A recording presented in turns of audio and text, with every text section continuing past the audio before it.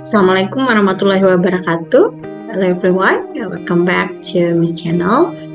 On in this video, Miss want to explain about steps in collecting and interpreting the research data. Jadi di video kali ini Miss akan membahas tentang tahapan-tahapan apa saja di dalam mengumpulkan dan juga menganalisa data penelitian nanti akan dimuat di proposal di bab 3. Let's check this video out.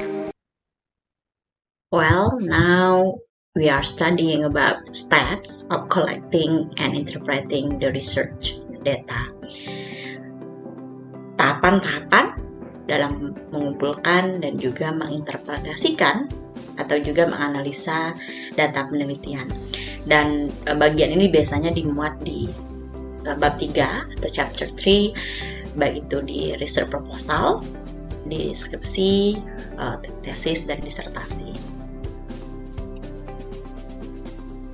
Yeah, here Miss want to explain for steps in collecting and interpreting the research data. The first one is determining the method for collecting the data, and then data processing and analysis, drawing conclusion, and the last is reporting. Let's we learn it one by one. Okay, first is determining the method for collecting the data. Yang pertama itu adalah menentukan metode apa yang digunakan dalam mengumpulkan data. Jadi kemarin kita sudah bahas tentang uh, instrumen penelitian.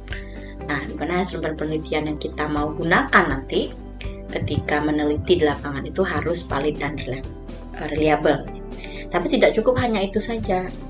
Kalau kita lihat di sini, data quality is not only determined by the reliability and validity of the measuring instrument, but it It is also determined by how it is collected. Jadi kualitas data itu tidak hanya ditentukan oleh reliabilitas dan validitas dari alat ukurnya saja, ya, kalau instrumennya saja, tapi juga ditentukan oleh bagaimana cara kita mengumpulkannya. Apa metode yang Hanya kita harus menentukan metode apa yang digunakan dalam mengumpulkan data penelitian setelah instrumen dibuat. There are several aspects in the data collection process. Jadi ada beberapa aspek dalam proses pengumpulan data.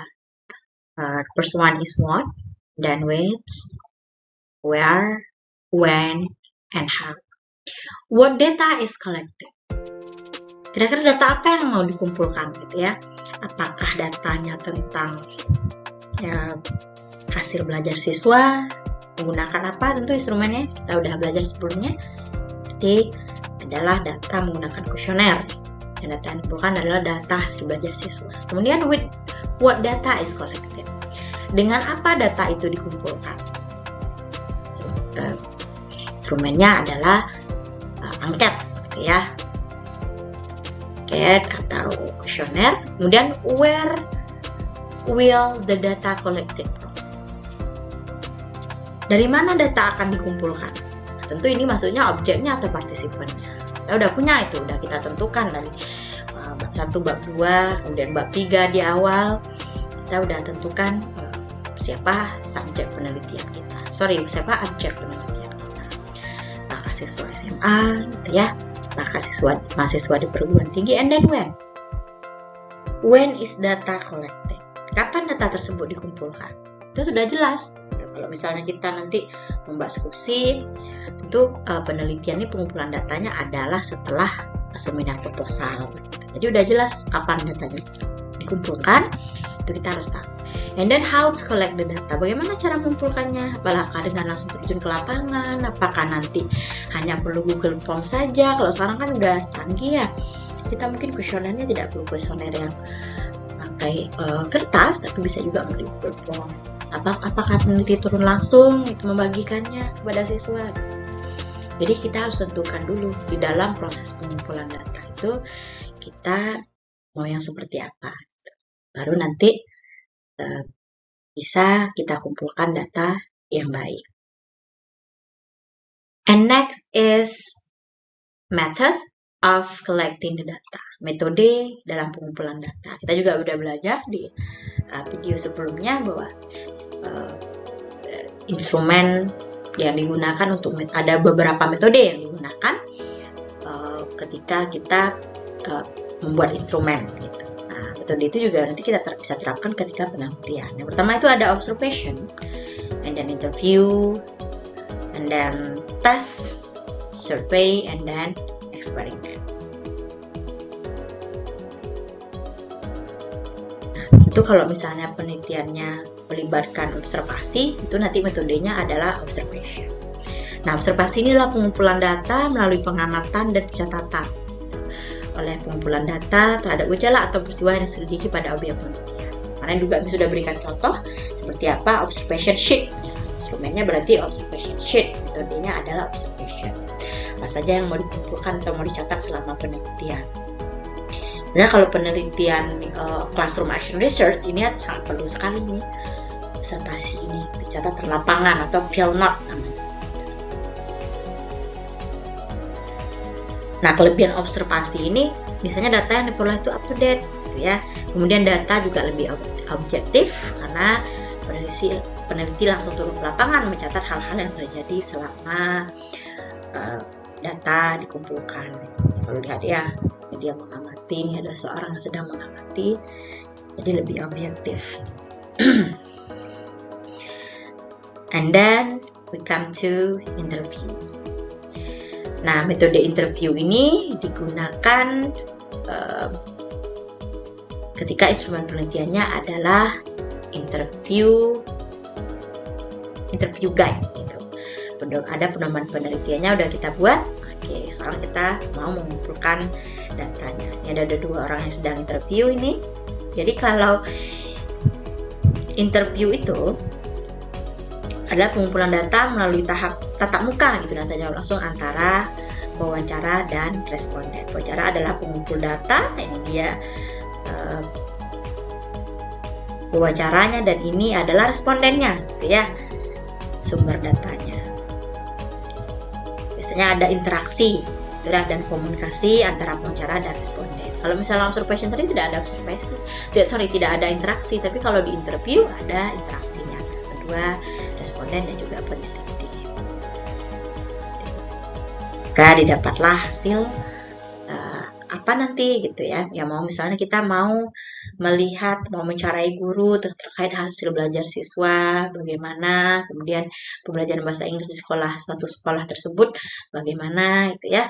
Itu kita menggunakan uh, metode interview. Dan kemudian adalah kita ke survei.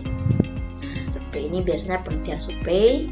Ya ada orang lagi survei ini ya pekerja proyek survei kalau misalnya kita dalam penelitian pendidikan mungkin kita survei langsung ke lapangan ya Nah, survei ini adalah pengumpulan data melalui permintaan keterangan atau jawaban kepada sumber data dengan menggunakan bisa jadi data pertanyaan, kemudian kuesioner dan bisa juga angket sebagai alatnya.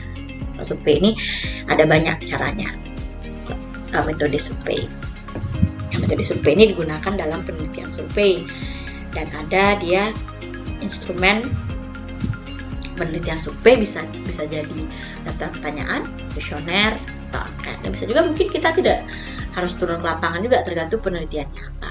Saya kalau kita hanya ingin uh, survei berapa banyak uh, siswa yang uh, nilainya di atas 80 di suatu SMA misalnya kita buat aja Google Formnya gitu mereka mengisinya masing-masing berapa nilai bahasa Inggrisnya di semester sebelumnya itu dia metode metode survei yang digunakan untuk penelitian survei. Nah, kemudian kita ke metode eksperimen atau metode percobaan, artinya sudah ada instrumen penelitiannya berbentuk eksperimen. Nah, eksperimen uh, eksperimen ini sendiri itu biasanya kalau eksperimen seperti ini kita lihat ya, ini adalah penelitian eksakta. Misalnya kalau penelitian humaniora seperti kita punya bahasa Inggris biasanya bukan eksperimen seperti ini yang dimasukkan. Metodenya uh, eksperimen artinya dia metode data melalui pencatatan langsung dari percobaan atau pengukuran. Jadi dicoba dulu, diukur gitu ya kalau orang-orang eksakta, orang lupa itu. Nah, orang kedokteran itu dia ada metode eksperimen. Kalau kita metode ini metode of collecting the datanya bukan eksperimen. Biasanya tidak eksperimen ini adalah jenis penelitiannya. Itu pun dalam bentuk quasi eksperimen, bukan true eksperimen. Tapi dia eksperimen juga bisa termasuk metode dalam penelitian. Nah, kemudian tes. Nah, metode tes ini tentu saja menggunakan instrumennya apa? Adalah soal tes. Kita udah belajar di video sebelumnya, soal tesnya boleh tes tertulis mungkin, boleh juga tes uh, tidak tertulis, tes uh, oral namanya ya, kalau misalnya speaking gitu. Itu biasanya uh, misalnya berbentuk instruksi tesnya, kemudian siswa akan mem mem memprestasikan atau juga menampilkan ya sesuai dengan soal yang dibuat. Nah, tes ini juga termasuk metode dalam mengumpulkan data. Jadi diberikanlah soal kepada siswa. Kalau kita lihat di gambar ini adalah siswa lagi mengerjakan soal. Gitu. Metode tes ini, eh, kalau misalnya kita meneliti uh, tentang skill biasanya, skill dalam bahasa Inggris atau juga mau melihat kemampuan kognitif siswa di bidang tertentu, itu harus dilakukan tes. And then the second steps is data processing and analysis. Jadi uh, tahapan yang kedua setelah metode pengumpulan data adalah pengolahan dan analisis data. Jadi diolah dulu gitu ya atau diproses kemudian dianalisis atau juga namanya kalau di penelitian kualitatif itu adalah interpreting the data, menafsirkan data. Kalau misalnya data analisis ini biasanya digunakan bahasanya dalam penelitian kuantitatif. Ya. Yeah. After data is collected, it is then data processing and then data analysis. Data analysis activities are intended to give the meaning and meaning of data and are useful for solving problems in research that have been formulated. For data analysis, if this is done, the data needs to be processed first. Jadi setelah data dikumpulkan, selanjutnya dilakukan pengolahan dan analisis data. Kita analisis data dimaksudkan untuk memberi arti, gitu ya, meanings, dan makna pada data serta berguna untuk memecahkan masalah. Kita kan mulai dari masalah ya, solving problem. Chapter 1 itu background of problem, kemudian kita promosikan problemnya.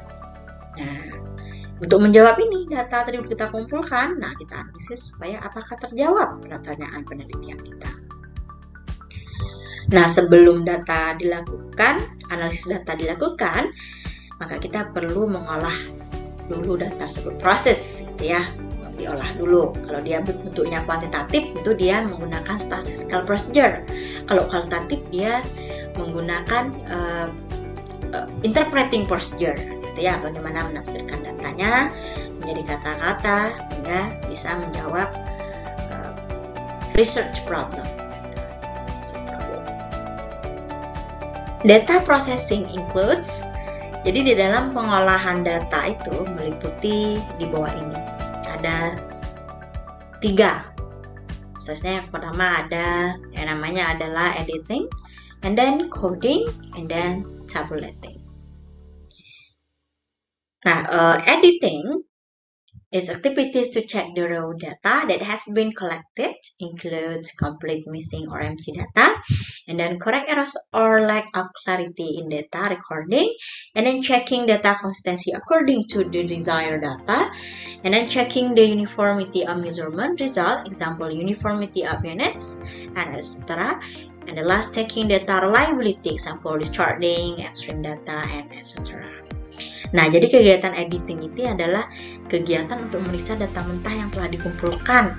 Ya, meliputi yang pertama ada namanya melengkapi data yang kurang atau kosong. Karena kita udah kita mengumpulkan eh, data tentang uh, hasil belajar siswa, gitu ya. Tapi ternyata ada yang respondennya yang tidak mengisi atau objeknya tidak mengisi. Nah, itu berarti ada data yang kosong gitu ya. Berarti kita harus lengkapi mungkin kita minta ulang siapa siswa kita udah punya datanya nama-namanya yang belum isi kita minta mengisi kembali gitu. and then correct errors ulang itu maksudnya memperbaiki kesalahan atau kurang jelasan dari pencatatan data gitu ya mungkin uh, biasanya seperti ini kalau correct errors ini biasanya dalam penelitian uh, yang menggunakan instrumennya adalah wawancara oh ternyata ada kesalahan gitu. Atau uh, tidak lengkap respondennya memberi jawaban gitu ya. Jadi kita boleh minta kembali. Kemudian memeriksa konsistensi data sesuai da dengan data yang diinginkan. Kita lihat data yang sudah terkumpul sesuai belum sama data yang diinginkan gitu. Apakah bisa nanti menjawab pertanyaan penelitian? Kalau misalnya yang dilihat adalah uh, motivasi belajar siswa dan juga tes uh, speaking berarti ada dua gitu nah ternyata yang terkumpul baru uh, uh, kemampuan speaking siswa aja yang motivasi belajarnya belum. Nah berarti itu uh, datanya belum sesuai diinginkan. Boleh mungkin kita turun kembali gitu ya meminta uh, data ini. Kemudian checking the uniformity ini maksudnya adalah memeriksa keseragaman hasil pengukuran. Ya misalnya keseragaman tentuan dan sebagainya. Ya maksudnya keseragaman di seperti di sini adalah apakah sama gitu. Ya tadi terkait dengan tentu juga data ini setelah dikumpulkan juga ada tes validity dan reliabilitas data kalau dalam kuantitatif. Kalau dalam kualitatif dicek lagi gitu. Di dalam checklistnya apa saja yang yang nanti uh, mau didapatkan dari responden apakah udah seragam itu ya jawabannya. Tentu kalau dalam satu misalnya kita menanyakan tentang eh, siapa nama kepala sekolah eh, di sekolah kalian? gitu. Tentu juga kalau misalnya satu sekolah tentu jawabannya sama. Tapi kok ada yang tidak menjawab sama? Nah itu juga kita harus lihat. Berarti datanya nggak seragam itu.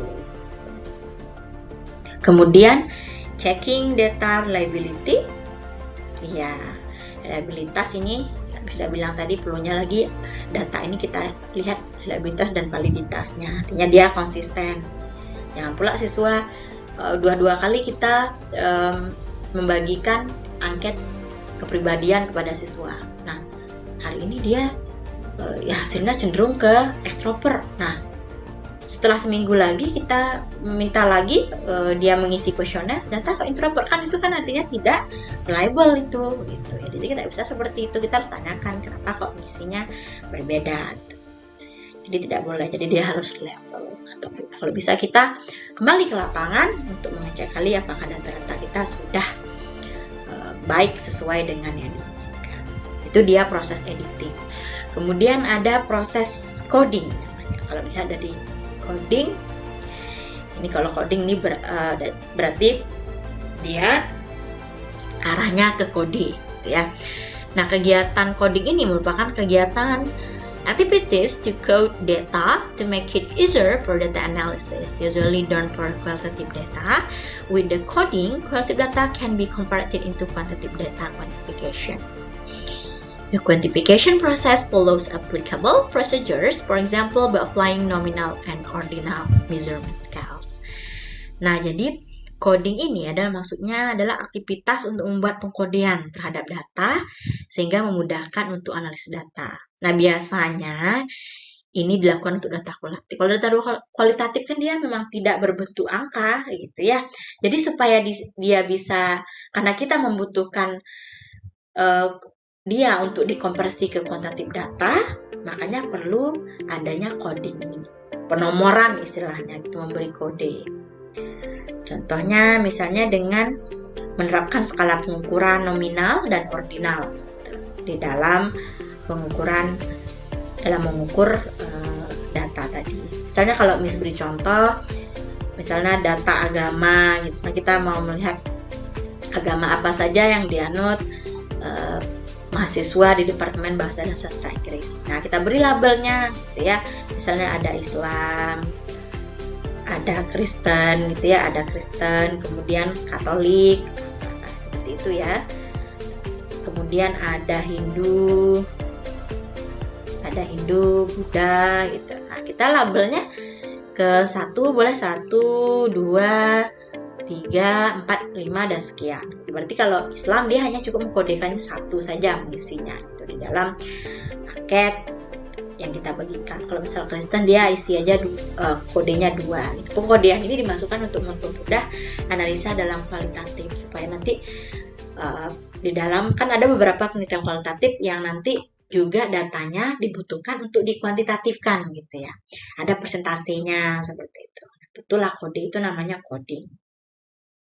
Nah, biasanya dalam penelitian kuantitatif uh, tidak terlalu ini ya memakai coding ini karena dia udah bentuknya sudah menggunakan angka. Ini penelitian kualitatif biasanya ditemukan. Kemudian tabulating. Yang terakhir adalah tabulating. Tabulating is activities to create data tables, present data in tabular form, to make data analysis and reporting easier. The data table is made possible so that information is easily captured by data user and search data analysis section. Nah, tabulasi ini digunakan untuk membuat tabel data, menyajikan data dalam bentuk tabel untuk memudahkan analis data maupun pelaporan.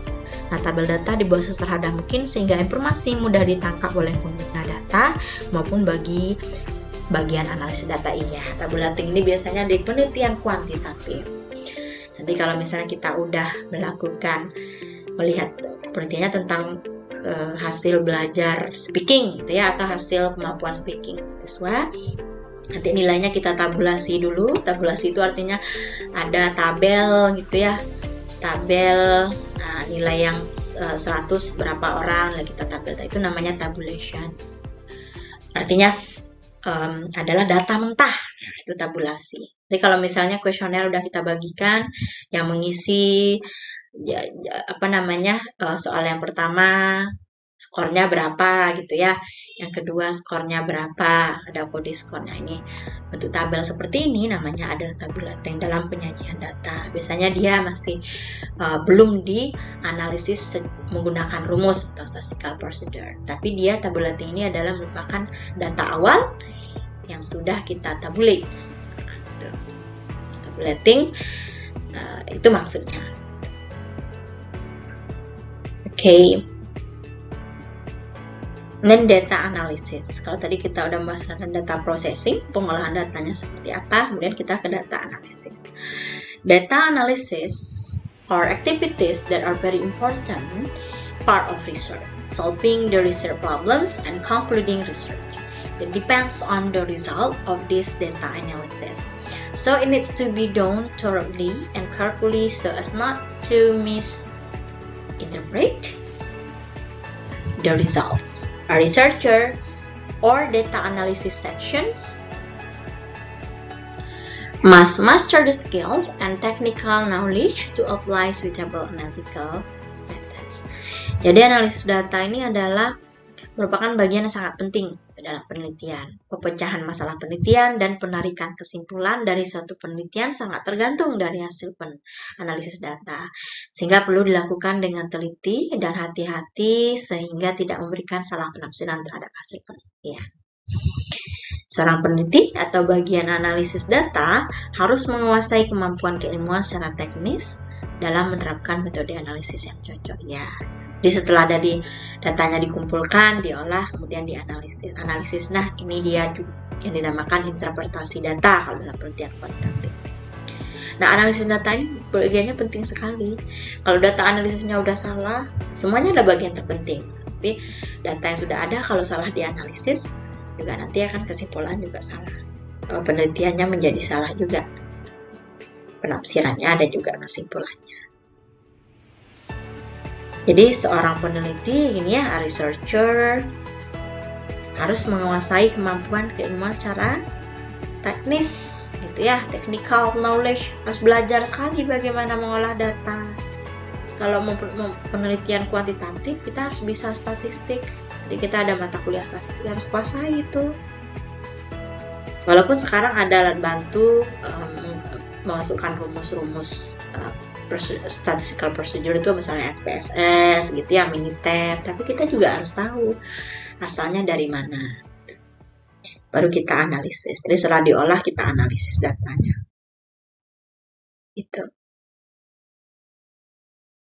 And then still about the data analysis, the data analysis method chosen must be adapted to the type of research Consideration for selecting analytical methods can be seen from goals and type of research, and then model type, model or data type, and then level or level conclusion.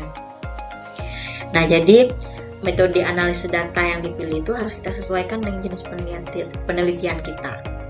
Timbangkan dengan metode analisis dapat dilihat dari tujuan penelitian. Apa tujuan penelitiannya?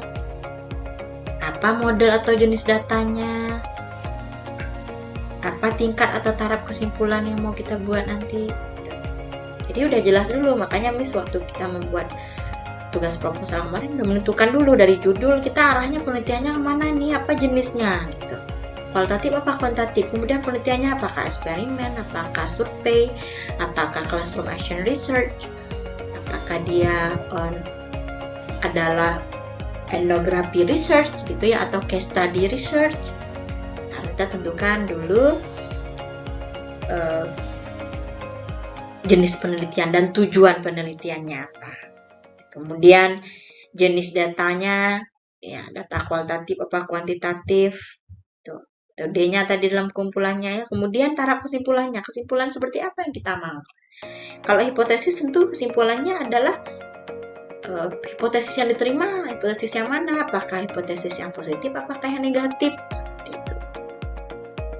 itu dia di dalam data analisis. Contohnya ini adalah titlenya The Study of the Influence of Promotional Media Selection on Promotion Sales of Goods at PT Graha Baru Semarang. Kan ini contoh penelitian yang kependidikan ya.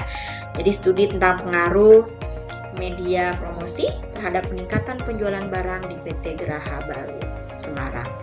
Analisisnya menggunakan analisis statistical analysis, ya berarti dia penelitiannya uh, kuantitatif, kuantitatif deskriptif. Seperti itu. Kemudian judulnya academic information. Karena ini cuma ada pengaruh promosional media tapi tidak ada treatmentnya. Makanya dia belum termasuk eksperimen tapi dia masuk deskriptif gitu ya. Kemudian titelnya lagi yang satunya contohnya sistem informasi academic information system at STMIC Dian Nuswantono jadi dia merupakan penelitian non statistical analysis. Artinya penelitiannya kualitatif ini itu ya tidak memerlukan statistical analysis. Jadi sistem analisis dan juga desain gitu. hasilnya nanti. Kemudian titlenya ini ada impact of using VOX2 fertilizer on improvement crop harvest. Jadi pengaruh penggunaan pupuk dengan merek ini terhadap peningkatan hasil panen cekih gitu ya. Ini menggunakan statistical analysis. Nah, ini experimental design. Kenapa? Karena ada penggunaan bio ini ada treatmentnya beda sama ini promotional media ini bukan treatment tapi melihat pengaruhnya saja ke sana apa gitu hanya dia deskriptif jadi itu itu bedanya mungkin kemarin kita uh, terskip ini yang deskriptif karena memang deskriptif sebenarnya cuma penelitian itu deskriptif. Tapi ad, kalau misalnya uh, dia ada sendiri tersendirinya juga penelitian yang deskriptif itu. Apabila misalnya seperti ini kalau dia belum belum ada treatmentnya maka belum tergolong dari eksperimen. Tapi uh, judulnya menyebut seperti eksperimen tapi tidak ada um, treatmentnya. Berarti dia tergolong deskriptif. Nah kemudian yang ini yang terakhir ini adalah dia termasuk juga penelitian kuantitatif statistical analysis eksperimen ini juga experimental design ini yang memang benar-benar eksperimen. Karena pupuknya memang mungkin dilihat di dalam uh, tanaman cuki gitu. Itu juga nanti anda semua bisa membuat contoh penelitian penelitian apa namanya uh, judul penelitian yang sudah dibuat tadi. Misalnya kemarin the struggle of learning English gitu ya. In speaking struggle of learning English speaking itu dia menggunakan survey research gitu. Nah, berarti kalau dilihat itu sebenarnya bukan penelitian kuantitatif, tapi itu sudah tergolong kualitatif. Kenapa? Karena dilihat adalah uh, struggle-nya struggle-nya saja gitu. Difficulties-nya. Tapi tidak uh, melihat angkanya berapa seperti itu. Juga tidak termasuk kualitatif gitu ya. And then the third step is drawing conclusion. Jadi tahapan yang keempat dalam mengolah dan menganalisa data itu adalah um, membuat kesimpulan. Nah, sudah ada di dianalisa datanya atau diinterpretasikan datanya, barulah kita menarik kesimpulan. Um, drawing conclusion is activities to provide interpretation of result of data analysis. In research that use research hypothesis testing, conclusion can be drawn from the result of hypothesis testing. Research conclusion must be by theme, topic, and research title, and then solving research problem, data analysis result, hypothesis testing, if any, and then relevant theory or science. And then conclusion should be made briefly, clearly, and then also concisely. Jadi penarikan kesimpulan itu adalah kegiatan untuk memberikan penafsiran terhadap hasil analisa data. Pada penelitian yang menggunakan pengujian hipotesis, hipotesis testing ini penelitian kuantitatif ya. Eh, kesimpulan dapat ditarik dari hasil pengujian hipotesis. Di dalam analisa data tadi, hipotesisnya sudah diuji karena maka dia bilang kesimpulan. Nah, kesimpulan penelitian ini harus sesuai dengan tema, dia judulnya, topiknya penelitian kita. Kemudian pemecahan penelitian apa masalahnya yang mau diselesaikan gitu. Kemudian hasil data analisisnya pengujian hipotesis jika ada. Kalau pengujian hipotesis itu di kuantitatif di kualitatif tidak ada pengujian hipotesis. Kemudian teori atau ilmu yang relevan gitu. Yang kita buat di kesimpulan ini kalau teori relevan sains ini bisa di keduanya, baik kualitatif maupun kualitatif. Nah, kesimpulan hendaknya dibuat secara singkat saja, tidak lupa panjang-panjang. Kan panjangnya udah jelas kan dari dianalisa data, pengumpulan data gitu ya. Um, nah, jadi dia secara singkat aja, jelas dan ada, udah selesai. Tuh. Itu dia bagian penarikan kesimpulan. Bukan bagian akhir ya setelah bagian akhir tapi dia bukan step keempat gitu di dalam pengumpulan data dan analisa data. And then the last step is reporting. Jadi setelah mengambil kesimpulan, buat kesimpulannya yang terakhir itu adalah reporting. Reporting artinya pelaporan. Ya, penelitian yang kita buat harus dilaporkan. The final stage in research activities that is creating a research report. This research report is useful for the publication of research results and for scientific accountability for research activities that have been carried out. In the research report, all stages that have been carried out are systematically written down from the planning stage to driving research conclusions, including required attachments, the reporting statistics are adjusted to the proportion set by the institution, institutions or sponsor that will manage the research result. Jadi reporting ini adalah laporan. Nah, skripsi yang kita buat itu merupakan laporan penelitian kita. Skripsi gitu kalau di S2 namanya tesis, S3 nama disertasi atau juga penelitian penelitian laporan penelitian lainnya penelitian di kantor. Kalau itu harus ada setelah kita penelitian harus ada ini nih step terakhirnya sebenarnya adalah laporan ini. Nah tahapan akhir dalam kegiatan penelitian adalah pembuatan laporan penelitian research report. Nah report ini laporan ini berguna untuk kegiatan publikasi. Publikasi kita mau bikin jurnal nanti ya. Kan kalau skripsi kita di akhirnya nanti akan dibuat jurnal. Jurnalnya akan dipublikasikan hasil penelitian maupun untuk pertanggungjawaban secara ilmiah kegiatan penelitian yang telah dilakukan ya apa benar penelitian yang telah dilakukan ini gitu? Kok nggak ada laporannya? Kalau nggak ada laporan itu bukan penelitian namanya gitu ya. Bagaimana prosedurnya? Kemudian dalam laporan penelitian itu secara dituliskan semuanya gitu. Secara sistematis semua tahapan yang telah dilakukan mulai dari tahap perencanaan planning stage-nya hingga penarikan kesimpulan drawing research conclusions gitu. termasuk dalamnya lampiran-lampiran pendudukan iya lampiran datanya apa kuesionernya gitu ya di attach Jadi di akhir laporan itu ada namanya lampiran. Itu lampiran ini biasanya yang banyak gitu ya. Bukti kita menggunakan. Nah kemudian sistemika pelaporan itu biasanya telah disesuaikan dengan ketentuan yang telah ditetapkan oleh lembaga, institusi, sponsor yang akan mengolah seperti tersebut ya. Jadi kalau misalnya di UNP kita ada panduan pembuatan skripsi gitu ya. Kalau untuk para dosen juga ada panduan untuk uh, melaporkan hasil penelitiannya. Jadi setiap institusi, setiap lembaga atau juga ada penelitian yang disponsori hibah-hibah itu ya beda formatnya. Jadi harus sesuaikan dengan itu.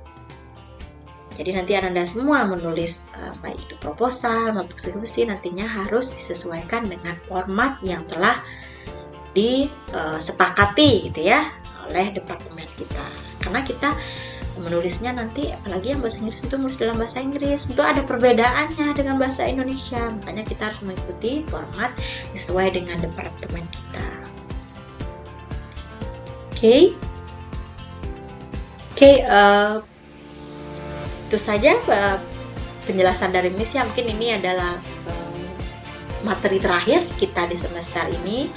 Miss harap juga Anda semua dapat mempelajari materinya dengan baik. Kalau bisa diulang lagi videonya dari awal video, video penjelasan Miss ini karena supaya kita lebih memahami gitu bagaimana membuat proposal penelitian. Nanti mudah bisa diterapkan dalam Anda semua menulis skripsi and then thank you so much for watching the video everyone hope that you can get uh, many knowledge about the research in language teaching from uh, this video and um, if you have any question yeah you can ask in the uh, comment session and you can also ask me in WhatsApp group. Assalamualaikum warahmatullahi wabarakatuh